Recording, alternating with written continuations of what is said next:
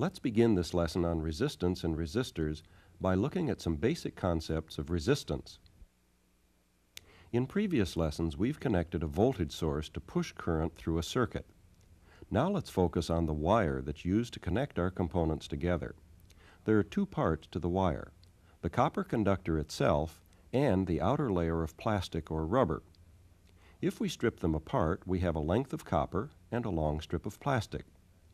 Now, if we connect the copper back in the circuit and close the switch, the circuit is once again complete. Copper, of course, is a conductor, which allows current to flow. We say that a conductor has a low resistance, a low opposition to current flow. Okay, now what if we use the plastic strip in place of the copper wire? Now when the switch is closed, what happens? Just as you'd expect, nothing. The plastic is, of course, an insulator, a material with high resistance. Materials are generally either conductors or insulators, depending on their atomic structure, with some materials in between known as semiconductors. Glass and rubber are good insulators. Some plastics have an even higher resistance. At the other end, even among metals, there are differences in conduction. Silver is better than copper, which is better than gold. Of the metals having a higher resistance, several are used in special electrical applications. Tungsten, a steel alloy, also has high resistance. It is particularly useful for giving off light when it gets hot, so it's used for filaments in light bulbs. Nichrome is a high resistance wire that gets very hot when current flows through it. For this reason, nichrome wire is used for electric heater elements. Between the conductors and insulators, we find semiconductors. We'll come back to carbon when we look at how resistors are made. Silicon, the basis of transistors and microelectronic circuits, will be covered in later courses.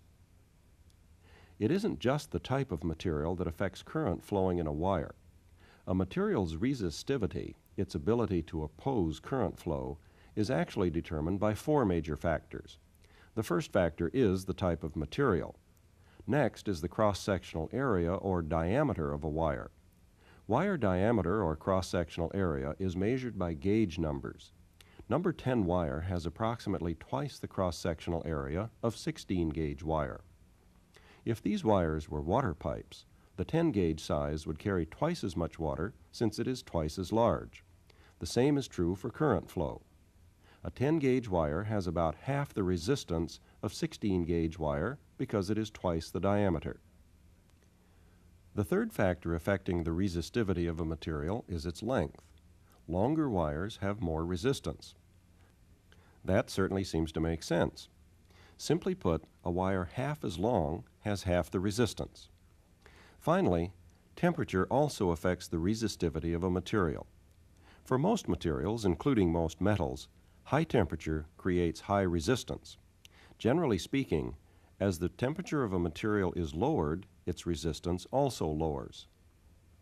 If temperature can be made low enough, the resistance of some materials drops essentially to zero. These materials are called superconductors. Once again, these are the four factors that affect a material's resistivity. As we saw in an earlier lesson, the amount of resistance in a material is represented by the letter R and is measured in ohms. The ohm is named after George Simon Ohm. More about him in the next lesson. The Greek letter omega is used to represent the ohm. But what is an ohm? One ohm is the amount of resistance that will allow 1 ampere of current to flow in a circuit to which 1 volt of EMF is applied. In other words, if 1 volt pushes 1 ampere of current through a load, the load has a resistance of 1 ohm. It's probably easier for you to picture the resistance of a length of wire. 1 ohm has about the same resistance as a 60 foot length of number 22 gauge wire, a very standard size for circuit connections. If we double the length of the wire, in this case to 120 feet, the resistance would also approximately double. We say wire has some resistance that interferes with current flow. But wire is also a conductor. For this reason, we can say that wire also has some conductance, which allows current flow. We use the letter G to represent conductance because C is used to represent coulombs of electrical charge. Resistance and conductance are opposites, called reciprocals. If there is more resistance, there is less conductance, and if the resistance is less, there is more conductance. The unit of measure for conductance was originally called the mho, the opposite of the O, and the mho's symbol was an upside down omega. In the 1950s, the scientific community dropped the mho as a unit of conductance in order to honor Dr. Werner von Siemens, an inventor of the 1800s who contributed much to the electrical power industry. So the unit for conductance has become the Siemens, with S as its abbreviation.